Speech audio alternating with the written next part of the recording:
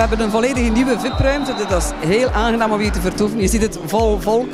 Eh, we hebben ruimte, het is aangenaam, het is helemaal vernieuwd. Dus het is echt wel eh, een gezellige ontmoetingsruimte geworden. de collega-ondernemers zijn hier altijd aanwezig.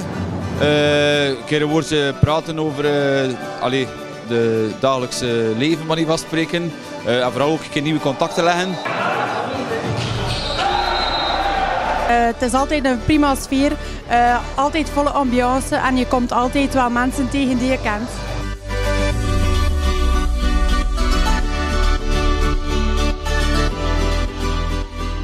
Wij hopen vooral dat de mensen hier contacten kunnen leggen. Dat is belangrijk voor onze sponsors, zodat zij een netwerk kunnen uitbreiden, dat zij kunnen contacten leggen en zo aan werk geraken.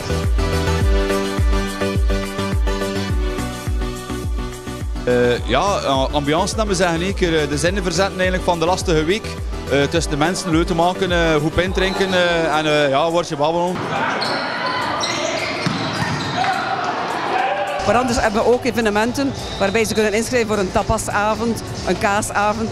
Ze kunnen van alles inschrijven om dan samen met familie, vrienden, andere sponsors aan tafel te gaan.